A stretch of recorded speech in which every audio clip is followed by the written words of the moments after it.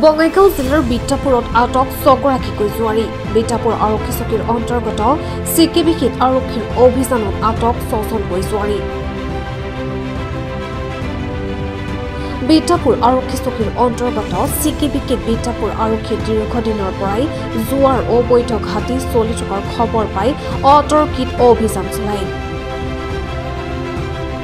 অভিযানকালত আৰক্ষীয়ে আপত্তিজনক সামগ্ৰীসহ ছজনকৈ জোৱাৰীক আটক কৰিবলৈ সক্ষম হয় আৰু আন ভালে কেইজন পলাই যাবলৈ সক্ষম হয়। আটক কৰা জোৱাৰীকেইটাৰ নাম চকুৰ আলী চাহিবৰ আলম খাদেম আলী কাজিবৰ ৰহমান ছানোৱাৰ আলী আৰু মমিন আলী।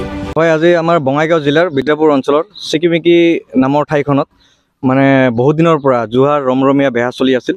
আৰু আমাৰ বিদ্যাপুৰ আৰক্ষী চকীয়ে অভিযান চলাই আজি। অভিযান চলাই কেইবাজনো আছিল তাতে জোৱাৰো মানে জোৱাৰী কেইবাজনো আছিল। কিন্তু তাৰে ভিতৰত ছজন আপত্তিজনক সামগ্ৰী জোৱাৰ যিখিনি সামগ্ৰী থাকে সেই সাম- সামগ্ৰীৰ সৈতে আমাৰ বিদ্যাপুৰ আৰক্ষী চকী চকীয়ে আটক কৰে মানুহকেইজনক। এতিয়া মানুহকেইজন বিদ্যাপুৰ আৰক্ষী চকীত আছে।